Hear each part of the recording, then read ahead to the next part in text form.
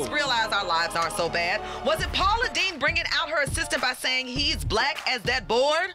No. Was it Britney's auction items only getting a bid of 28 cents? No.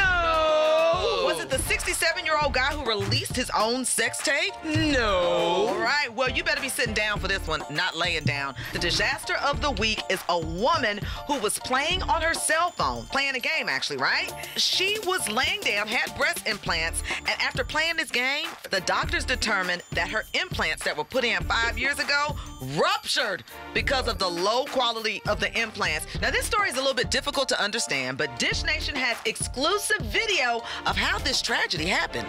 Take a look. Attention. This is a Dish Nation dramatic reenactment. No one was hurt in this reenactment. A woman in China, possibly wearing a beret, was playing games on her cell phone. She was playing for a long.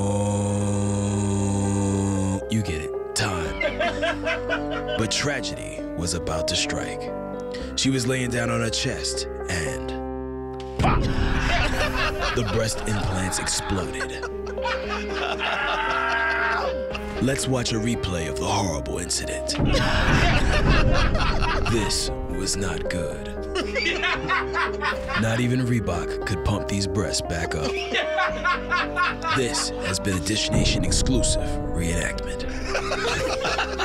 So you think she won the game?